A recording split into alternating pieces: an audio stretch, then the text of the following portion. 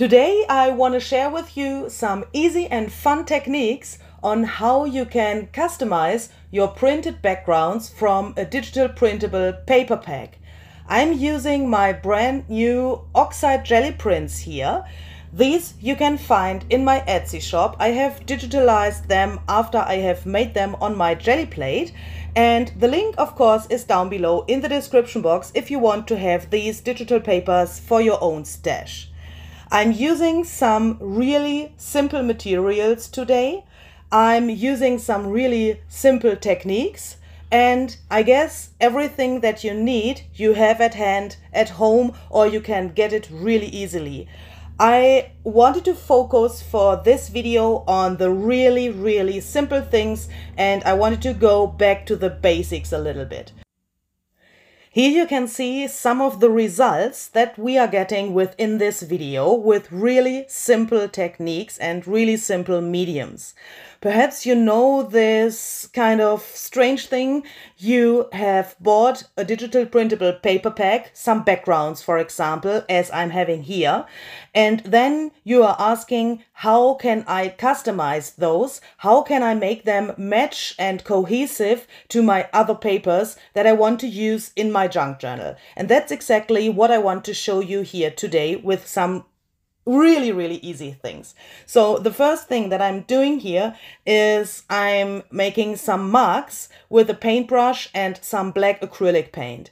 I really like this because this is so relaxing and this brings so much artsy feeling to such a background and it's the most simplest thing that you can imagine for this page here, I'm using mainly the lighter areas to put my black marks in, but I'm also putting them a little bit to this orange area, as you could see. The same thing, of course, you can do with white acrylic paint. You can see that here.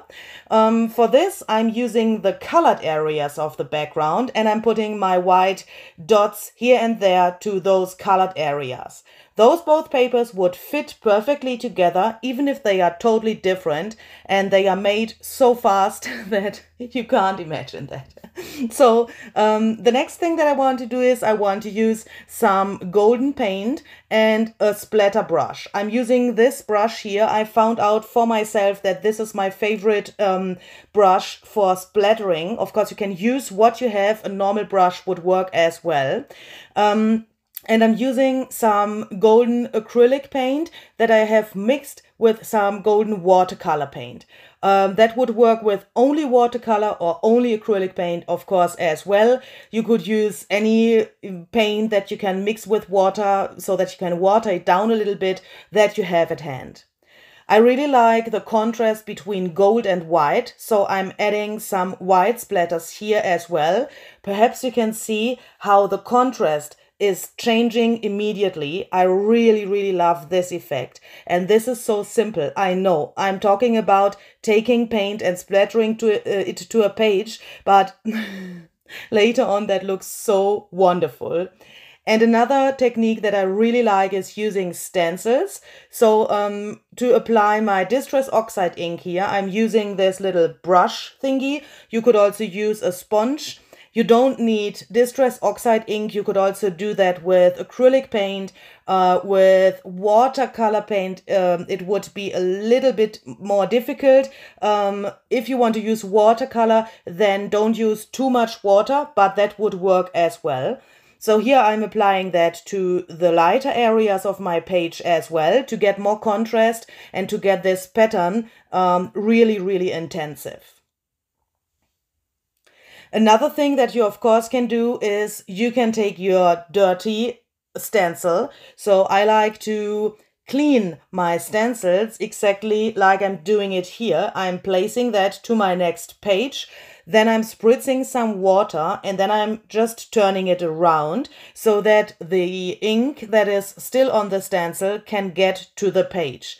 You will get a really loose uh, pattern of this stencil, but in, in my eyes, that looks really, really interesting. It's not so clear, not so, yeah, not so much in the foreground, but it's still visible.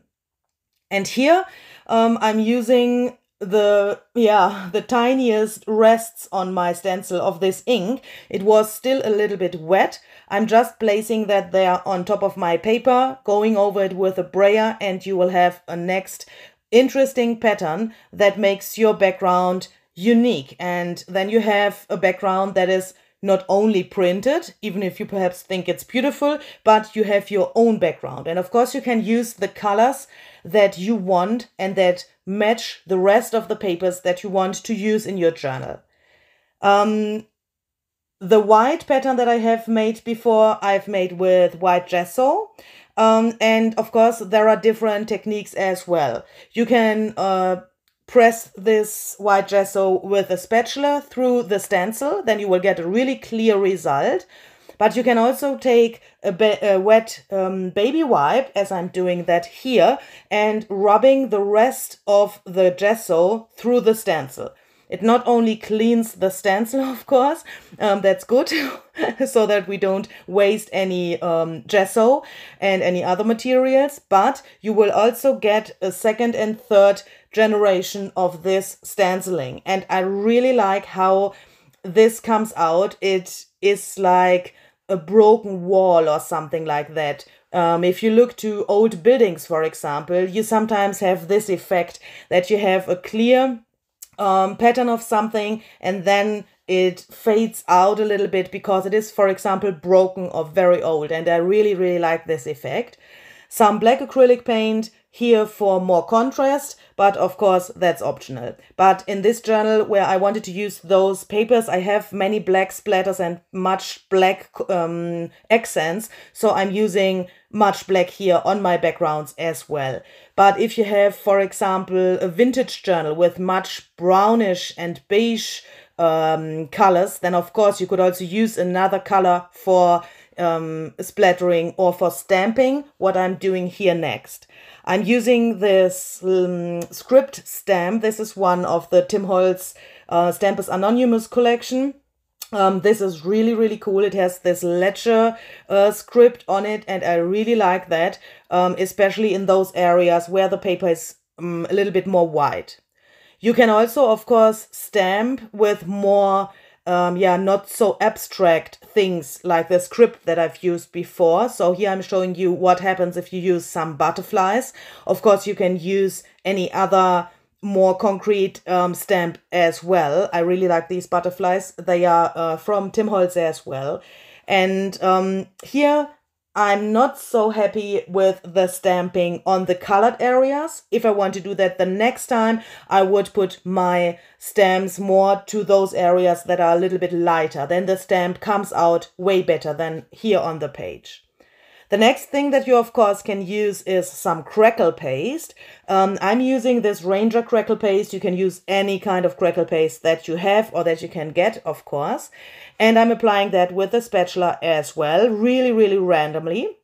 That covers up a little bit of this orangey, honey, yellow background, of course, but you will see that will get a really, really cool effect. And this is also a great idea if you perhaps think, oh, this background is too yellow. Then you can mute the yellow down a little bit. No, that's not correct. You are not muting it down, but you are bal balancing it out with um, some other colors. So in this case, I have spritzed some coffee while my um, crackle paste was still wet. And now I'm adding a really extreme um, contrast color by adding this turquoise distress oxide ink with some water. For that, I'm applying that to my acrylic block, as you could see, and then I'm smearing that randomly over the page. And for me now, this background is something, yeah, really, really unique. Um, it's a pop of color. Even for, for example, a vintage journal, I would use this as a page where you, yeah, you flip the, the other page and then you think, oh, here is color. Do you know what I mean? so sometimes I really enjoy using those really extreme colors. And another thing that you of course also can do is you can emboss your paper with an embossing machine.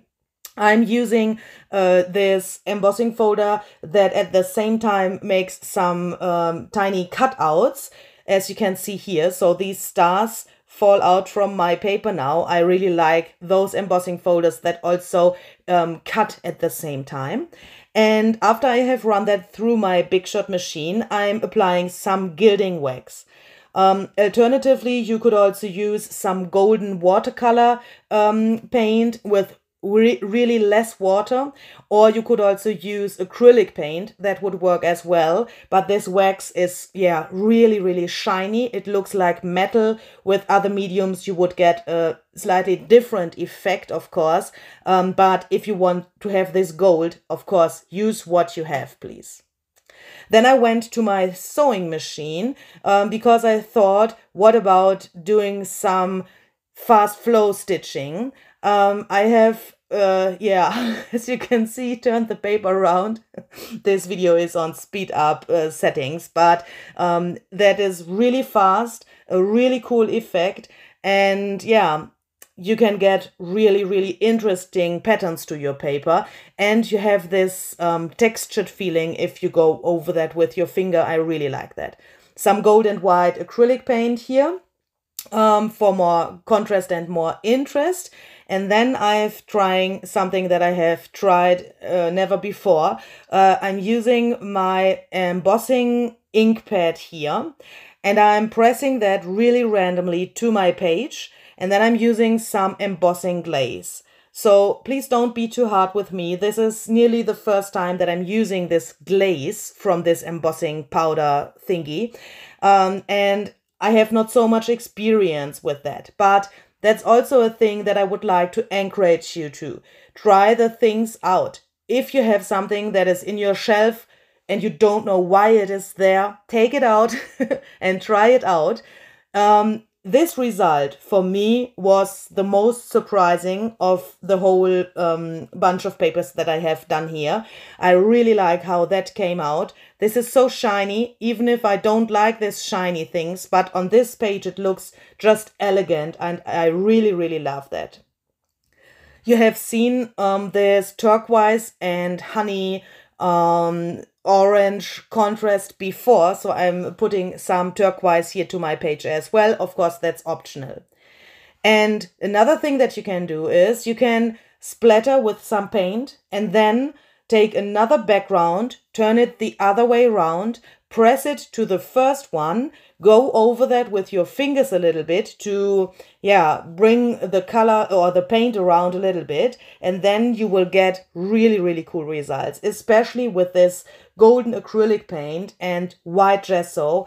Um, that is a really, really awesome effect. When this is dry, it looks nearly, um, yeah, nearly like um, those fairy wings. I really like this structure in this golden areas there. Um, I will show you that in the end of the video a little bit more in detail. When it's dry, it's way more extreme. In this little glass container, I have um, a strange mixture. so I have had an old Distress Oxide ink pad that was broken.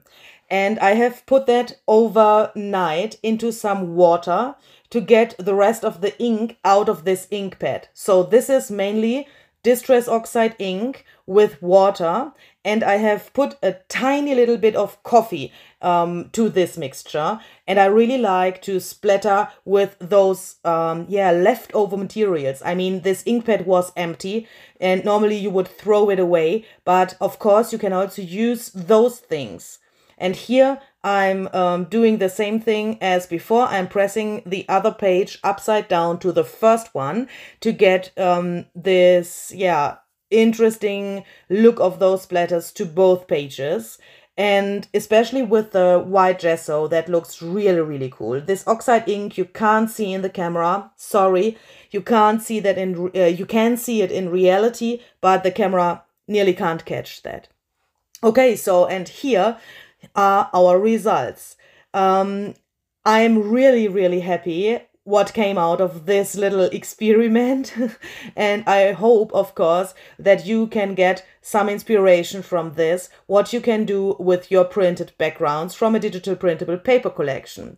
Um, if you want to try that out with exactly these oxide Gelli prints, then I can recommend to check out the info box. There's a link to my Etsy shop where I have listed those paper packs. There are three in total. So I have made um, three smaller paper packs instead of one big uh, because I know that not all of you need so many of those backgrounds. So you can collect them all or you can choose one or you can take something totally different, of course.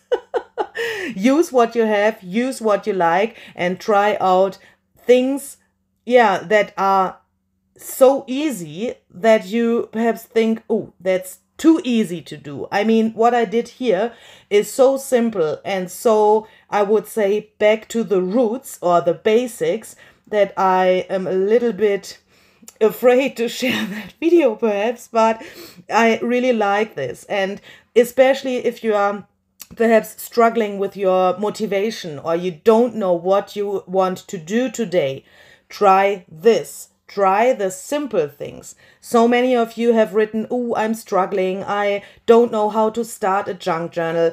Then take some papers, um, print something out, or take what you have. It doesn't have to be a printable, of course, and splatter around, stamp, and use your stencils. Um, go through your stash, look what you have, and use what you have. I know I'm saying that very often, but for me, this is one of the essentials. And it's some kind of a key to break those motivation issues, those inspirational mm, problems. Um, if you can't find inspiration uh, somewhere, then go back to the basics and go back to perhaps what children would do. I mean, splattering in such a way is something that you could also do with your children or that a child would perhaps do. And go back to this, and I'm pretty sure that you will find your motivation, you will find inspiration, you will find out different things, new things that you can do with the mediums that you already have. That's also a thing that I'm often thinking about. Um, what can I do with my mediums? um, thinking about new ideas. It is not um, always so good and so necessary. Use what you have and play around with the things that you have. I wish you very much fun trying this out. See you the next time. Stay healthy, stay creative. Bye bye.